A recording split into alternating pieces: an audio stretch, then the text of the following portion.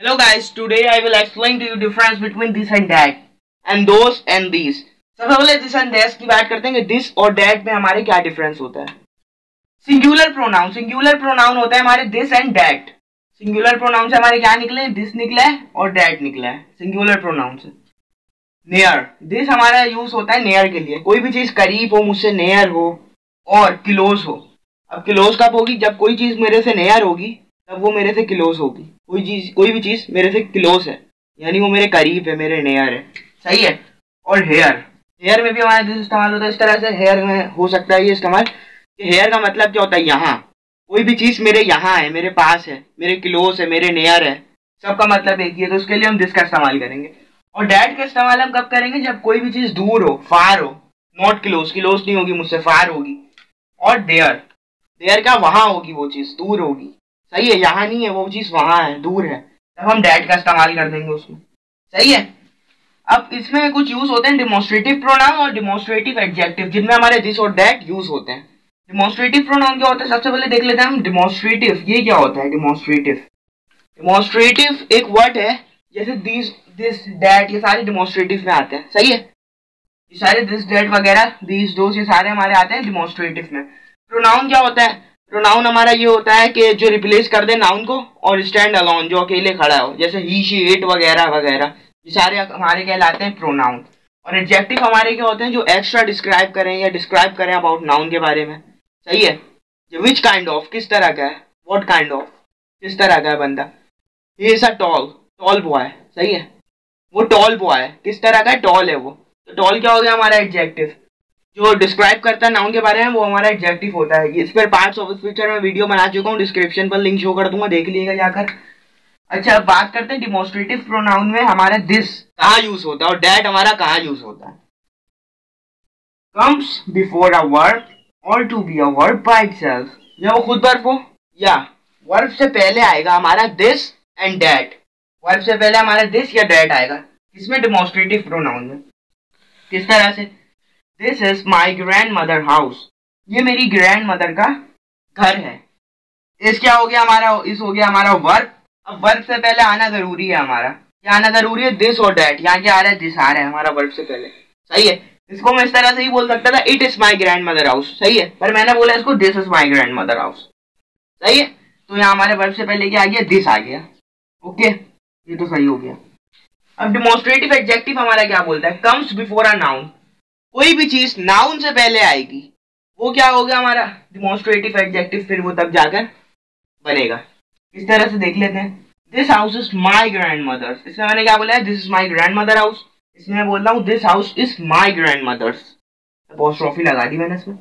This house is my grandmother's ये house मेरी grandmother's mother का है, मेरी ग्रैंड मदर का है ये हाउस तो यहाँ क्या आ गया? यहाँ पहले हाउस आ गया। सही है? यहाँ पहले क्या आ गया? हाउस आ गया। हाउस क्या हो गया? नाउन हो गया। अब नाउन से पहले आना ज़रूरी है हमारा दिस और डेट या नाउन से पहले हमारा दिस आ रहा है। सही है? तो ये डिमोन्स्ट्रेटिव एडजेक्टिव में इस तरह से बनते हैं हमारे सेंटेंस अब डेट देखते हैं ये। जो दिस हमारा यहाँ यूज़ हो रहा है मैं आपको बता रहा हूँ कि डेट किस तरह यूज़ होगा। डेट इस तरह से यूज़ होगा कि मैं एक एग्ज़ाम्पल दे देता हूँ आपको।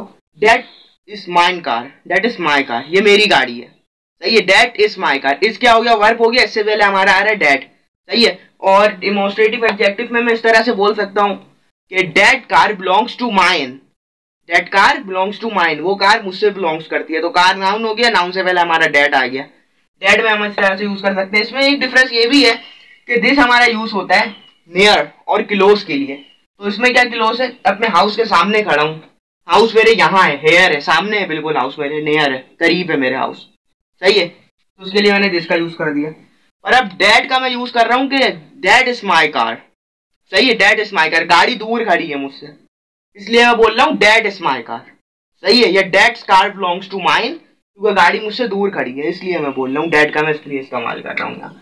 ये मैंने लिखा हुआ अब देखते हैं दीस और दोस्त के डिफरेंसेस और सबसे पहले एक बात मैं आपको बताया चलूँ सिंगुलर में हमारा दिस और डैड आता है प्लूरल में हमारा आता है दीस और दोस्त दिस और दीस का हम इस्तेमाल करते हैं नेयर के लिए, कोई भी चीज़ नेयर हो, उसके लिए हम इस्तेमाल करेंगे दिस और दीस को। और कोई भी चीज़ फार हो उसके लिए हम इस्तेमाल करते हैं दैट और दोस्त को। सही है? अब डिमोन्स्ट्रेटिव एंड प्रोनाउन में देख लेते हैं दीस और दोस्त की क्या यूजेस है और डिमोन्स्ट्रेटिव एडजेक्टिव में देख लेते हैं। दीस और दोस्त के होते रूल वही रहेंगे। रूल हमेशा वही रहेंगे। प्रोनाउन में क्या थे? वर्ब से पहले आना चाहिए। दीस और दोस्त और एडजेक्टिव में क्या होगा? नाउन से पहले आना चाहिए। दीस और दोस्त सही है? दीस आर न्यू शूज़ ये नए शूज़ है। आर हो गया वर्ब आर से पहले क्या आ गया? वर्ब से पहले आ गया these those are old bikes वो ओल्ड बाइक्स हैं। आर हो गया वर्ब वर्ब से पहले आ गया हमारे दोस्त। सही है? Demonstrative pronoun in the case of demonstrative project adjective इसमें क्या होना चाहिए था?